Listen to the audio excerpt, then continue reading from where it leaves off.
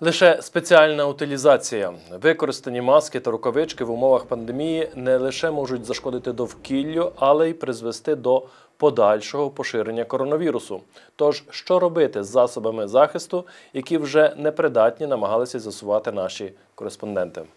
Раніше рукавички та маски найчастіше використовували медпрацівники. Відтак у закладах охорони здоров'я засоби захисту спочатку дезінфікували, а потім утилізували. Зараз в умовах пандемії ці предмети стали звичним атрибутом для кожного. Куди дівати їх після того, як одягнули, більшість людей не знають, тому просто викидають у смітник. окремий пакет викидає всі пластикові бутилки і е, ті рукавички, а маски такий мусор.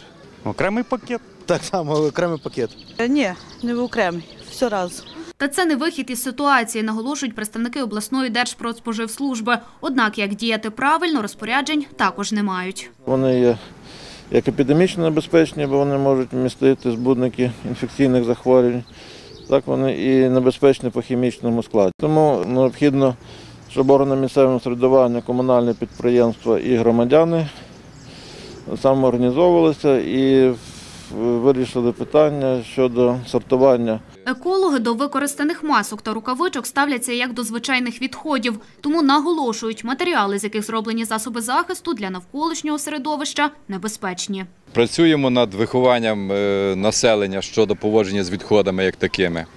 І вчимо їх сортувати. Вчили е, діток маленьких, які ще добре не говорять, е, вже сортувати сміття, поводитися з ним і так далі. І так далі. Ну тут навряд чи такі маленькі дітки несвідомі порозкидали, наприклад, е, ці ж е, пов'язки чи там інші якісь речі по, е, по, по на- населених пунктах області. Поки на Івано-Франківщині роздумують над тим, що робити з використаними засобами захисту, столиці вже знайшли вирішення проблеми. В окремих установах облаштували пункти прийому вживаних масок та рукавичок, після чого предмети спалюють.